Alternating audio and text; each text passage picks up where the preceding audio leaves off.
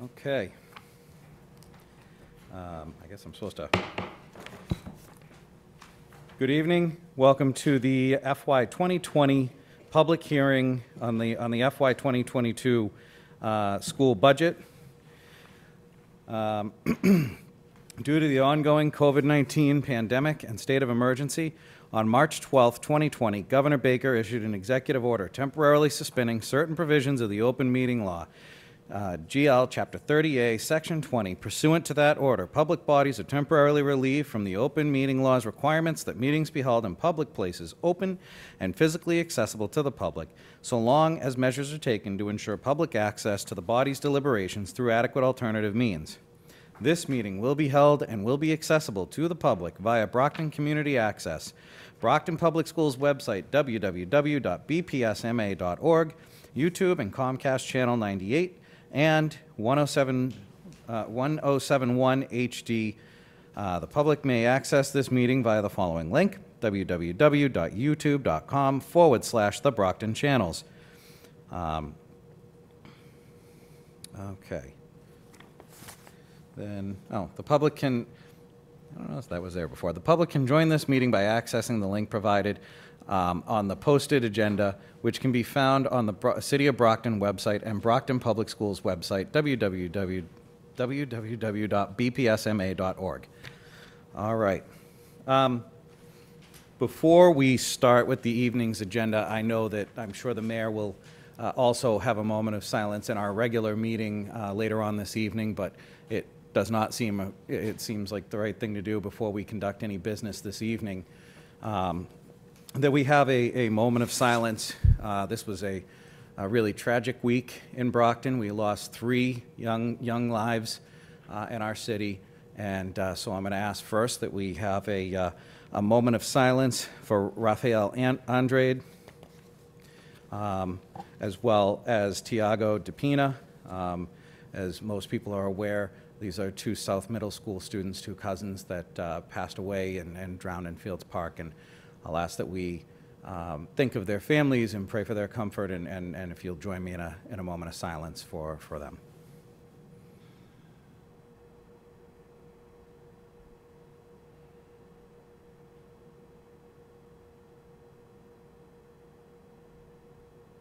Thank you.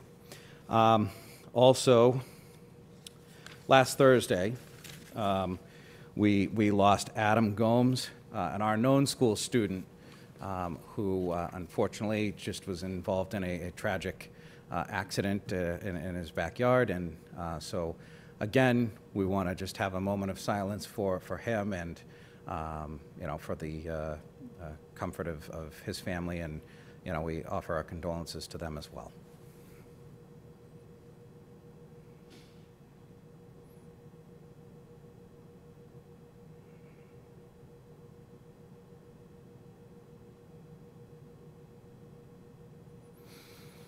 All right, thank you. Um,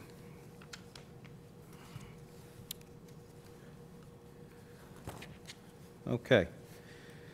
So I hereby call this public hearing to order. Um, Do we have any visitors? Okay.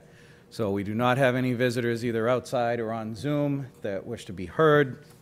Um, So uh, I'll check again before we adjourn the the hearing, but uh, with that, is there any discussion or comment uh, from the committee before we, anybody have any comment or discussion on this? Okay. Seeing none. Hmm? Yeah, where this is the, the school budget hearing. Um, Okay. So seeing no comment from the members of the committee, um, you know, and I do want to just confirm again that, uh, that we don't have any visitors on Zoom or outside. We don't have any, any public, you know, members of the public that wish to be heard? Okay, one second. All right, Ice here. One. Malinda? No one outside? You're checking on that? Okay, all right. Um, Judy, why don't you go ahead while, while she confirms? I just wanted to make a, um, a comment on the school budget. This is the first year that we've been able to have, you know, money to do some of the things that we want to get done, which we haven't been able to do over the years. So the public understands that there really wasn't any money that we could do these extra things with.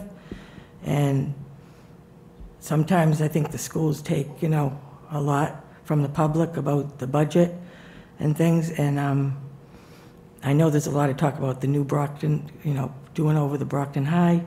And those things have to all go through the state. So we are working on that and among other things. So um, I'm very thankful that this year we have this excess money to, you know, get the things done that we want to get done. Thank you very much. Mr. Minichiello.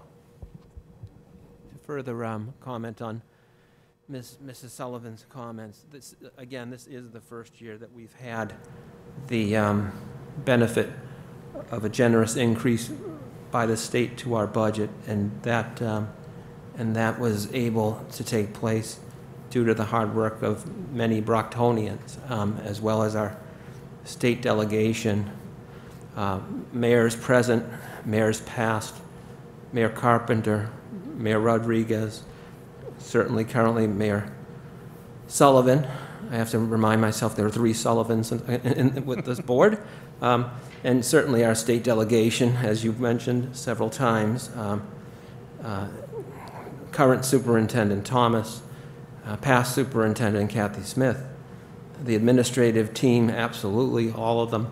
Um, you know, Aldo Petronio, um, June Sabo Maguire, who every budget that uh, we were short would always suggest to us, you know, there are things that, you know, the system needs, and she never would stop suggesting them, and we never want those suggestions to ever stop. But um, this year, fortunately, we have extra funding to put in, in place many uh, programs that were reduced, taken away. Now we need to expand. The state certainly is going to be over, over our shoulder, making sure that what we're spending the money on is going to produce results, academic, educational results. Uh, the issues listed in the state report that, uh, again, at the time, they had no problem commenting but not providing the funding to address those items, but now, you know, they're going to certainly want results now that we have funding to do so. Um, So this, this is a good day. This is a good day for Brockton. This is a good day for the students, the community, the Brockton Public Schools, all of us who have uh, fought the fight, um, you know, several years, uh, several years. Um, So this is, this is definitely a great budget. Um, You know, we, this is one of the rare opportunities. We don't have a, um, an audience full of unhappy employees receiving RIF notices. Um, We have happy employees who, you know, see that uh, the school committee and, and and the administration is working for the best interest of, of the system, the students, the parents, the, the employees. You know, as a community, we, um, you know, we, we, we now this, you know, are able to bring about some new positions, positions that uh, people are happy about, positions that deal with, you know, funding of extras with regard to curriculum, programming, more, uh, more uh, positions to support, you know, student learning, um, positions to support uh, diversity, positions to, you know, uh, you know, basically, you know, talk the talk, but we're walking the walk. And, and for years, we've been uh, trying to address, you know, the criticism, I will say, about, you know, the uh, student body looking one way and staff looking another way. But, um, you know, you have to have the people out there and you have to have the resources to be able to hire people and you have to be able to retain new employees because as we know, the new employees are the first ones to have to leave based on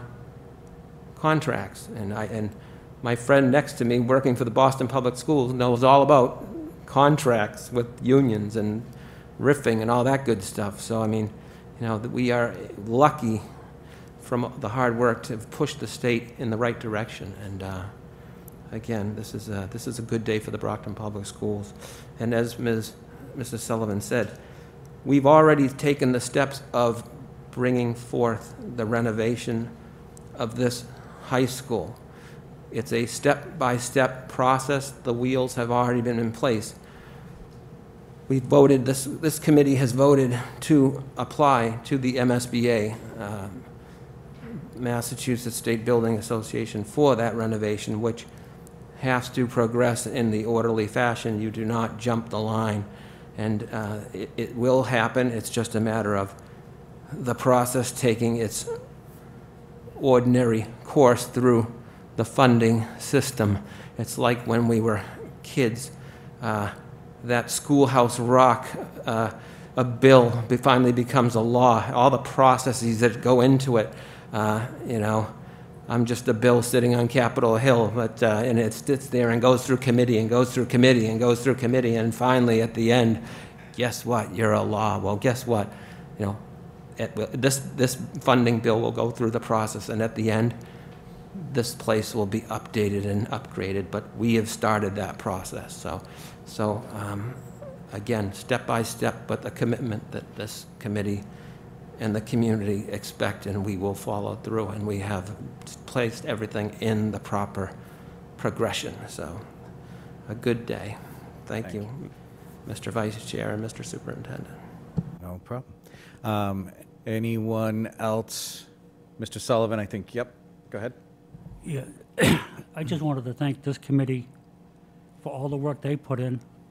And just to echo Judy and Tom, this is the best budget I've had since I've been here. And it wasn't easy, you know, to put this whole thing in place, to get all the programs back, the art, the music, all the sports are back, middle school, high school, the busing. We're gonna start our own bus company. It's, it's almost unbelievable.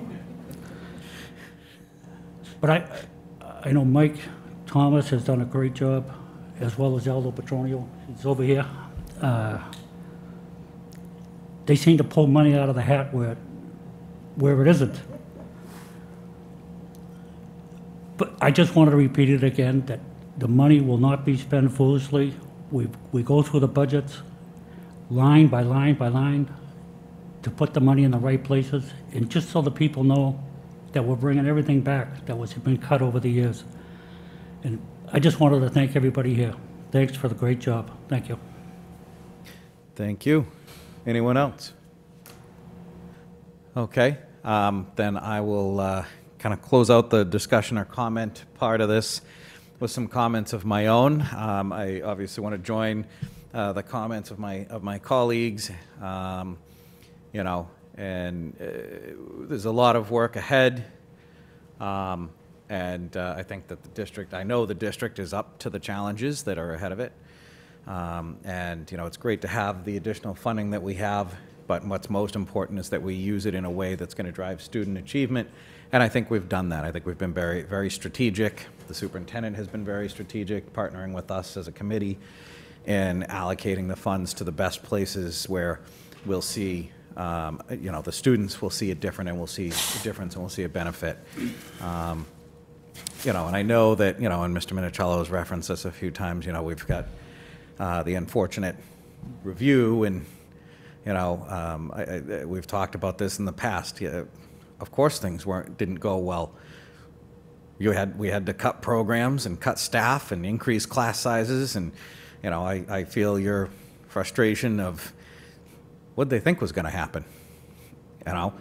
Um, so, but upward and onward, that is the past is the past, and we're looking forward, and uh, we're, I know I'm happy to have the, finally have the, the, the funding that we're getting, and, um, you know, I think this is, again, a budget that has been done in a very strategic way um, to make sure that um, the ultimate goal of student achievement is going to be accomplished with the way that we've used these funds and the way that we'll continue to use additional funds as they come in in future years because the Student Opportunity Act, remember, was a, a uh, originally a seven-year rollout, which of course COVID kind of messed that up. But um, so there's, you know, hopefully in future years we'll have more opportunities to bring in, um, you know, great programming that will really help with student achievement and make a big difference for our kids. And um, you know, again, because the whole idea of ed reform back in the 90s was your zip code shouldn't dictate the quality of your education. Um, And I I know we all firmly believe in that in this city and on this committee, so. And I do want to, again, echoing Mr. Minichiello's comments, there were a lot of people involved in the fight. But basically, anybody who had a, a, a dog in the fight, i.e. was a resident of the city, had kids in the district, was on this committee, was in any, you know, uh, elected or leadership role, was a part of that fight. And, you know, uh, when we work as a team, we get things done, so. Okay, um, again, we don't have any members of the public that wish to comment. Um, Just, and I don't think that I need to do this because we're not, you don't take any votes in a public hearing, but I'm going to do it for the purpose of belts and suspenders, um, for lack of a, a better way to put it. And that is a, a roll call to just uh, establish a quorum.